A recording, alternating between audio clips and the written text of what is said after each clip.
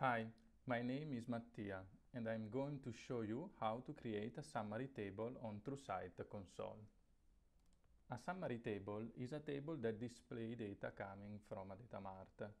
In this kind of table we can have a link to other page and we can display uh, data in the cell with different format uh, as number, number with digits, uh, colored bars uh, based on threshold. In addition, we can also add a filter on the column of this table. For example, here I have a filter on the uh, location site and additional filter on the technology and on the department. Let's start to see how we can create a page like this. Okay, this is my custom view. I can add a new page with this menu on top. Here I can specify what is the name of my page and select this summary table template as the template for my new page. On top of the page you can see the data mart selector that display all the data mart available on the TrueSight capacity optimization console. I have already uh, create a data mart for uh, my purpose that is called DC summary table. As soon as I select a data mart, I can start to configure my table here. Now I can select the column of my data mart to display in uh, my page. I will select the name, then the number of the CPU core, the CPU core frequency and the CPU utilization.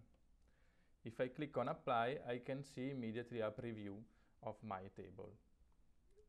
Then I can refine each column with uh, different renderers if I want to change the look and feel of my table. For example, for the first column, I can change the renderer that has default is test to link and select the page that I want to link to.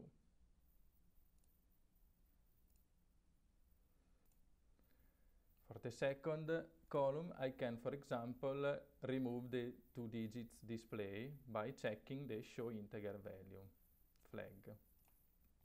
For the CPU core clock frequency, I can, for example, change the unit of measurement from megahertz to gigahertz.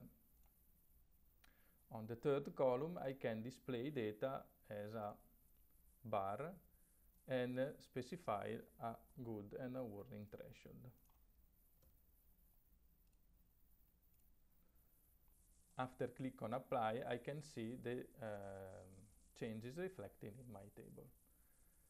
Now I can, I can add more column using the add column button and configure all the other columns.